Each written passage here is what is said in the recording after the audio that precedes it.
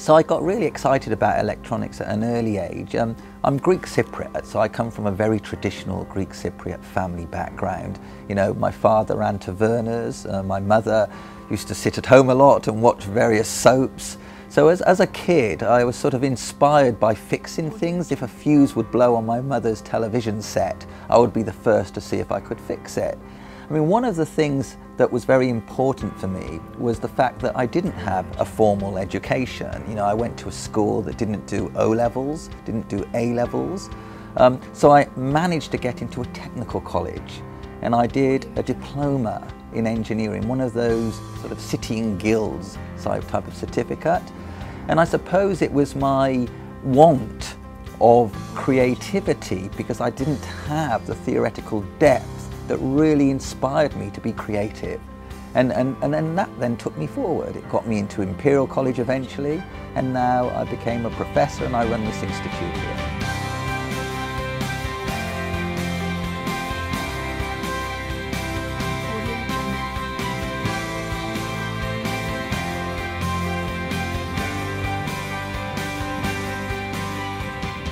I think one of my biggest achievements has been the formation of this Institute of Biomedical Engineering here at Imperial College. Um, it was the ability to get different disciplines to work together, electrical engineers with physicists, with biochemists, with clinicians, with aeronautical engineers even. And if you could get these people to work together and break those silos, you can create fascinating cakes. And that's where all the intellectual property is. And through that venture, I was able to create cochlear prosthetics for born deaf children. We created one of the world's first totally implantable uh, pancreas chips for type 1 diabetics. And now we uh, create a chip that enables us to look at DNA in real time. I think he's an absolutely natural candidate. In fact, one of the things I was going to point out is that he should have had several Faraday medals, not just one. So it wasn't a difficult choice to suggest him.